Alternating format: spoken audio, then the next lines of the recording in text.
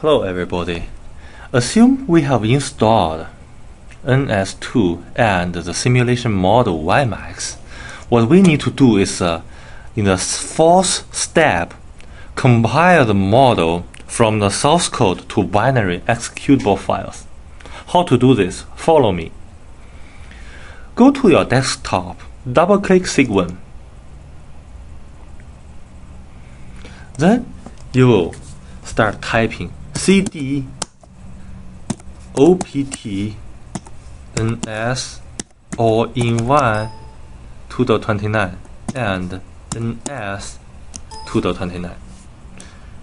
give a enter now you can type ls to see how many files here and uh, then you can type make which means you compile the binary executable files from the source code, while the source code located in different folders. Type make, enter. Now you will see the compilation of NS2 kernel is uh, ongoing. Now you can go back and relax for half an hour or maybe one hour depends on the speed of your CPU and then come back we will come back later.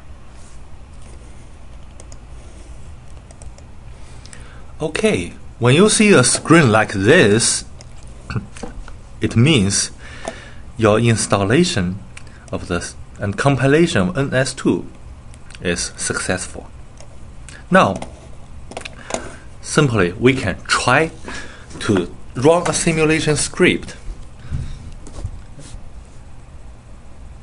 go to cd tcl se492 ls. Now we see we have a, a couple of script files here. There's one default file called ofdma tput distance.tcl Another one is extcl.tcl. We don't use this example. We use ofdma tput distance.tcl. TCL is a, a script language format used for NS2 simulation. What we have done is to compile the source code and the module source code into O file and these O files are concatenated and linked into simulation kernel. TCL is a shell.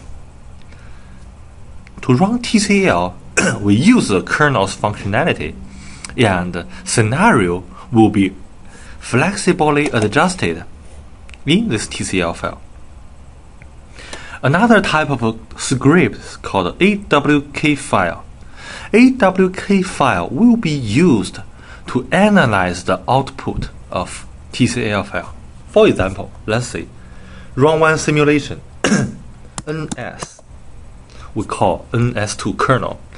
Run the script ofdma tput distance.tcl and we direct the trace information to trace.tr which is a trace file. And in the TCL file, if you are interested, we can have a look. OPNS 2.29 TCL SE 492. This is a TCL file. Let's open the Win editor. Then go to the TCL SE492 folder. 492 folder. Then we drag the file into WinEdit. Go to full screen. From here we see this is a scenario file. Define the topology, how many mobile stations we use when the simulation stops, where the mobile station start from uh, from the moving point? How many times ARQ we use? We don't use ARQ. What's the carrier center frequency we use? What's the packet size we use? And then what's the transmission power antenna gain? And then all this configuration for OFDMA, configuration for the link layer frame duration, frequency bandwidth, handoff threshold, and all the configuration for wireless interfaces. For the for those who are interested in writing TCL script from scratch, please refer to NS2 tutorial. Go to Google ISI edu, you will find the NS2 TCL tutorial. Here, the most efficient way is to modify TCL files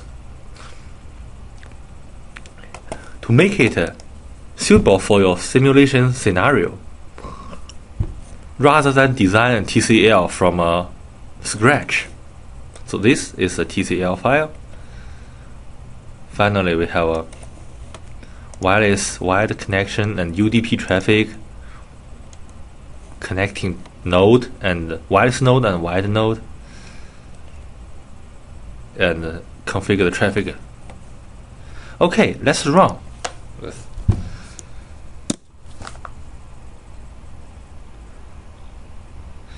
Then you will see the simulation start. Let me maximize our Cygwin window. It shows simulation start at zero time and the, the update information will be displayed. For example, at 5 seconds, it will display an update. 10 seconds, it will display another update information. You can stop your simulation anytime you want by press Control C Control C is not copy. Control C is uh, stop the running process in Linux environment. After you stopped, you type ls to see how many file are, files are there in the directory. We see there are two, three new files. Trace.tr is one of the file we use to store the trace information. Out.tr is one of the file we use to store the output information. HARQ debug is some debug information for hybrid ARQ we don't use in our class. Once you get this, we want to know what is the throughput between the sender and the transmitter. Okay, we type awk slash f, we use the file wimax throughput dot awk throughput dot awk and then you give the output name out dot tr then you give a number station number by default, the station number is 1 for wireless, station. Type enter, you will see OK. A different second, 0 to 8 second. What is the throughput we have at the receiver side? How many packets we received? The parameter we care is uh, the throughput. So In this case, we will plot the throughput information. Go to Edit.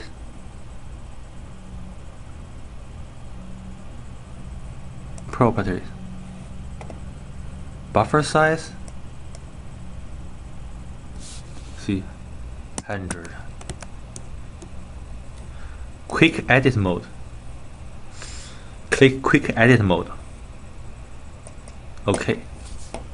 Now we can copy data from the screen.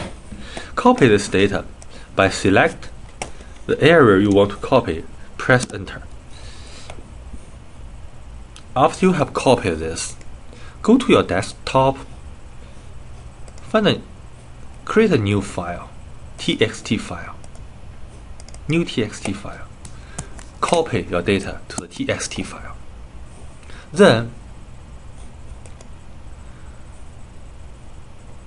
go to a desktop, new a file, Microsoft Excel worksheet. Double click it.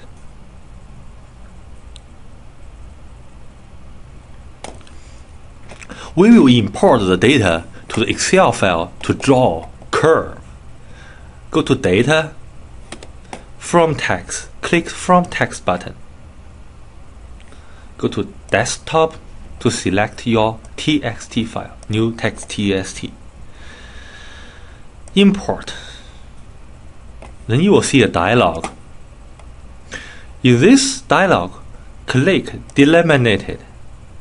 Delimited, which means you need to use different characters to delimit these columns and the lines. Go to Next. Delimiter, we use space. Go to Next. Go Default, Finish. OK. Now we input the data. We need to draw a figure. I want to see at different time what is the throughput. OK. Select the time zone and the throughput zone.